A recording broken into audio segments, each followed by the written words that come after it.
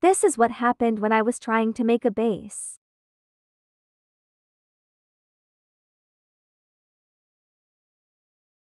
This base is not finished yet.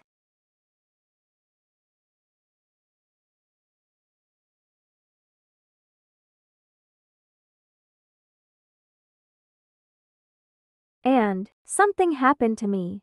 I can't pick up items or spawn items even though I've made this base for quite a while but it's still lagging.